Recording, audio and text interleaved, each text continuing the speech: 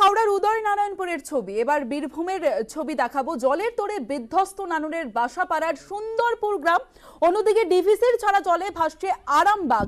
জলের চাপে বাঁধ ভেঙেছে কানা মুন্ডেশ্বরী নদীতে। আমাদের দুই জায়গা থেকে দুই প্রতিনিধি রয়েছে। ইন্দ্রজিৎ রুজ রয়েছে এবং রয়েছে বাপন। প্রথমেই বাপনের কাছে যাব। বাপন, কি পরিস্থিতি?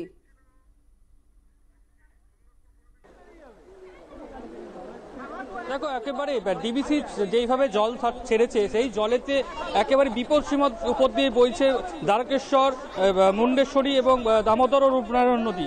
এইখানেতেই আরামবাগের একটি অংশ, আরান্ডি দু নম্বর, সেইখানেতেই কানাদার মুন্ডেশ্বরী, সেই মুন্ডেশ্বর ডিবিসি ছাড়া জলেতেই একেবারে বাঁধ ভেঙে গিয়েছে। সেই বাঁধের জল হু হু করে ঢুকছে গ্রামের মধ্যে।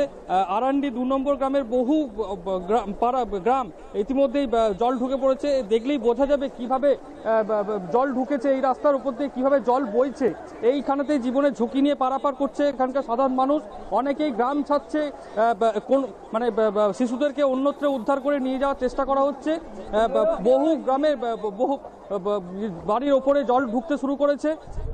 এর পাশাপাশি খানাকুলেও একই চিত্র এবং পুরসরাতেও একই চিত্র কারণ যেইভাবে জল ডিবিসি জল যে এসে পৌঁছেছে তাতে করে জল উঠছে খানাকুলের বিস্তীর্ণ এলাকা এবং পুরসুরেরও বিস্তীর্ণ এলাকা জলমগ্ন হয়ে পড়েছে। একেবারে বাপন সেই ছবি আমরা দেখছি। আমি ইন্দ্রজিতের কাছে যাব। ইন্দ্রজিৎ যে গ্রাম সুন্দরপুর একটা গ্রাম পুরো বিধ্বস্ত কারণ জলে পুরো ভেসে গিয়েছে বাড়িঘর ভেঙে গেছে কি অবস্থা বাসিন্দাদের?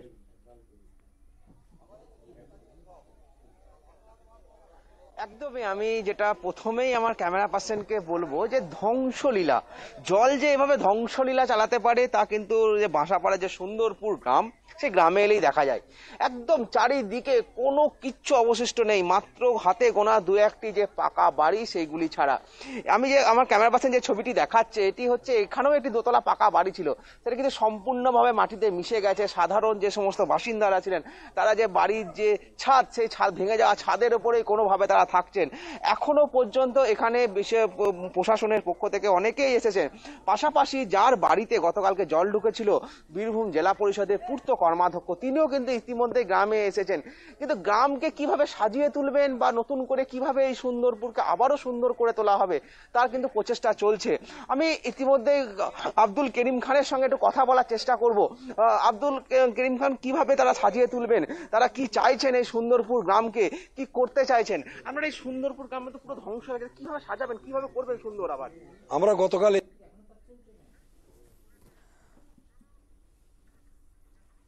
আমরা কথা বলছিলাম আমাদের প্রতিনিধির সঙ্গে যে ছবি আপনারা দেখছিলেন সেটা বীরভূমের সুন্দরপুর গ্রাম, জলের তোড়ে বিধ্বস্ত নানুরের বাসাপাড়ার এই সুন্দরপুর গ্রাম। দু একটি পাকা বাড়ি ছাড়া পুরো গ্রাম নিশ্চিহ্ন এই জলে এবং মাটিতে মিশে গেছে সমস্ত বাড়ি, এখন শুধুই মানুষের হাহাকার। সেই ছবি দেখছেন যেখানে জলে নিশ্চিহ্ন গোটা গ্রাম। দু একটি পাকা বাড়ি ছাড়া পুরো গ্রামটাই জলের তোড়ে ভেসে গিয়েছে।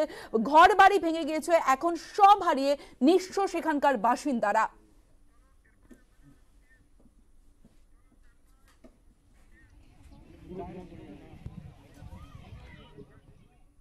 ঝাড়খণ্ডে বৃষ্টিতে বঙ্গে প্লাবন, রাজ্যের বিভিন্ন জেলায় প্লাবন পরিস্থিতি। আজ আকাশপথে বানভাসু এলাকা পরিদর্শন করবেন মুখ্যমন্ত্রী।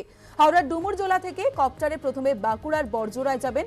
সেখান থেকে আকাশপথেই হুগলির আরামবাগ, গোঘাট, খানাকুল, পরশুরা, জঙ্গিপাড়া তারকেশ্বরের দুর্গত এলাকা সরেজমিনে দেখবেন মমতা বন্দ্যোপাধ্যায়। আকাশপথে হাওড়া, পুরুলিয়া, পশ্চিম মেদিনীপুরের দুর্গত এলাকা দেখার কথা আছে। আরামবাগে প্রশাসনিক বৈঠকও করবেন মুখ্যমন্ত্রী মমতা বন্দ্যোপাধ্যায়।